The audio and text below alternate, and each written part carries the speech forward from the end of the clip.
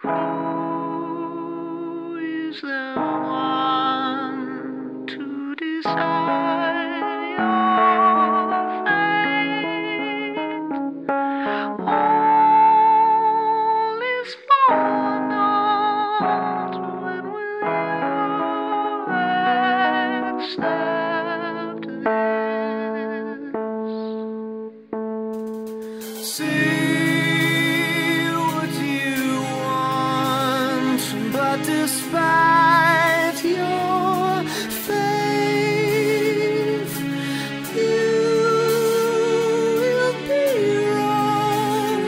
All of this.